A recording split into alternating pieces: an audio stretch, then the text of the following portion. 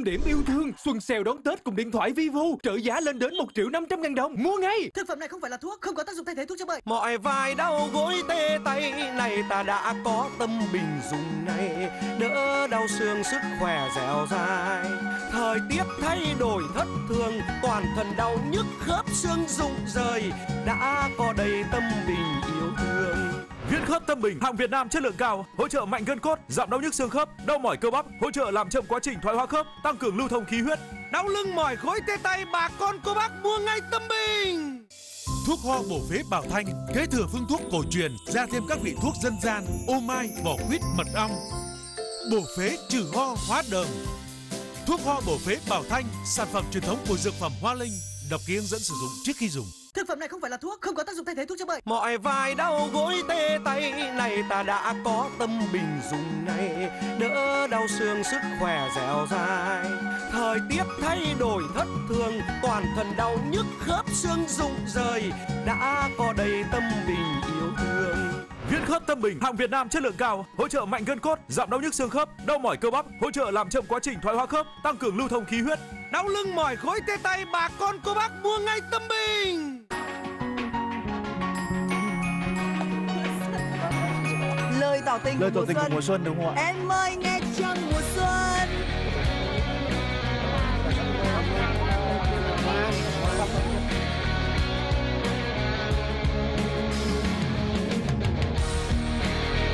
đến với chợ Tết đông vui hơn.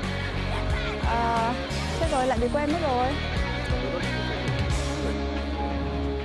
Mùa xuân đến Đạp xe trên phố Tóc xõa Bánh trưng chắc chắn thì ngon. Chỉ định bánh trưng thôi xong là vào phỏng vấn từ bánh trưng luôn. Nụ hoa Họ làm hơi ở từ là nó mà ấm cực không điện. Xong trên điện chị Hà xem nữa xong chưa? Lặng yên ngồi nghe tôi hát. Hỏi những con người của tôi đang trong con tim yêu thương. Mùa xuân đến rồi Mùa xuân nói với em Tình yêu rất gần Hãy Lấy hộ quay phim nhá. Rồi rồi hai ông này.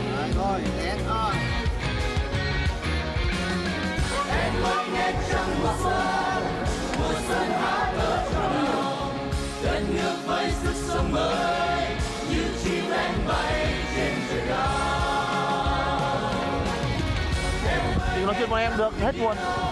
Chỉ định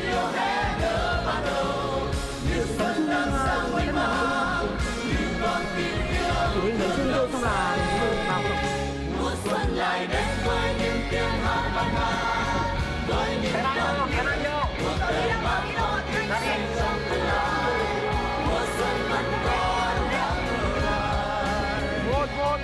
là đồ tưởng tượng tình lặng yên nuôi em tôi hát còn em lặng yên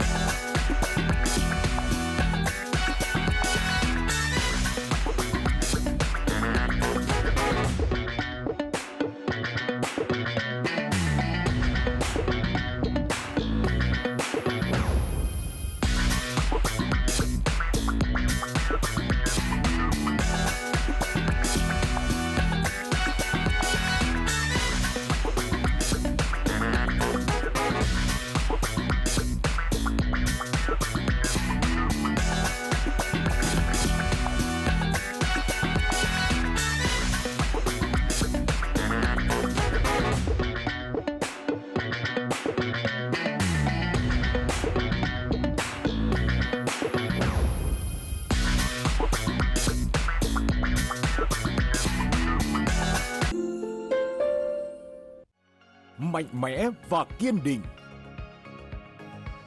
Nỗ lực không ngừng nghỉ. Kiến tạo giá trị bền vững. Bằng tình yêu và trách nhiệm.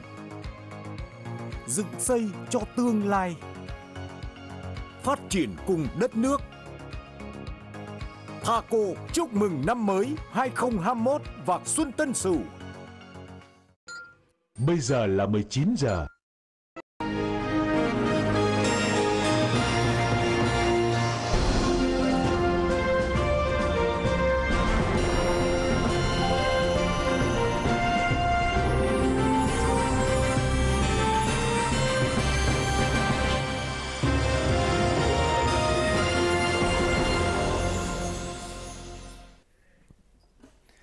Xin kính chào và cảm ơn quý vị đang theo dõi bản tin thời sự tối của Đài truyền hình Việt Nam.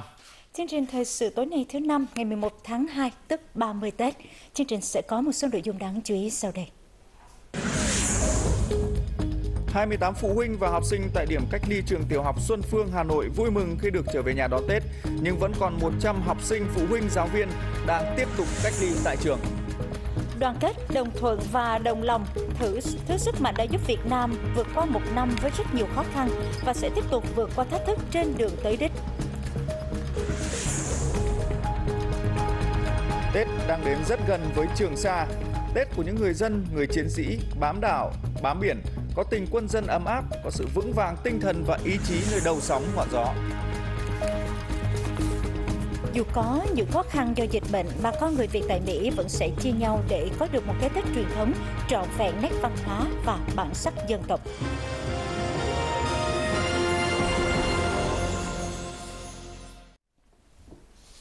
Thưa quý vị và các bạn, nhân dịp Đảng, Nhà nước và nhân dân Việt Nam đón mừng năm mới Tân Sửu 2021, vào sáng nay, Tổng Bí thư Ban chấp hành Trung ương Đảng Nhân dân Cách mạng Lào Thủ tướng nước Cộng hòa Dân chủ Nhân dân Lào Thonglun Sisulit đã điện đàm với Thủ tướng Nguyễn Xuân Phúc, gửi lời chúc mừng năm mới tốt đẹp nhất đến Đảng, Nhà nước và nhân dân Việt Nam, nhất là trong thời điểm Đảng Cộng sản Việt Nam vừa tổ chức thành công Đại hội đại biểu toàn quốc lần thứ 13. Tổng Bí thư, Thủ tướng Thonglun Sisulit bày tỏ tin tưởng trong thời gian tới, khi hai đảng cùng tổ chức thực hiện nghị quyết đại hội toàn quốc của mỗi đảng, mối quan hệ hữu nghị vĩ đại, đoàn kết đặc biệt và hợp tác toàn diện giữa Lào và Việt Nam – sẽ tiếp tục phát triển lên tầm cao mới. Thủ tướng Nguyễn Xuân Phúc cảm ơn Tổng Bí thư, Thủ tướng Thonglun Sisulit mới đây đã gửi điện chúc mừng ngay sau khi Thủ tướng Nguyễn Xuân Phúc tiếp tục được bầu làm Ủy viên Bộ Chính trị, Ban chấp hành Trung ương khóa 13, Đảng Cộng sản Việt Nam. Đồng thời nhấn mạnh, năm 2021 là năm đầu tiên thực hiện nghị quyết đại hội toàn quốc của mỗi đảng. Hai bên cần tiếp tục kề vai sát cánh, vượt qua những khó khăn, thách thức, nhất là do đại dịch COVID-19 gây ra, và phối hợp chặt chẽ thực hiện có hiệu quả, thiết thực hơn nữa các thỏa thuận giữa lãnh đạo cấp cao hai đảng, hai nước, nhất là tại kỳ họp lần thứ 43 Ủy ban Liên Chính phủ về hợp tác song phương Việt Nam Lào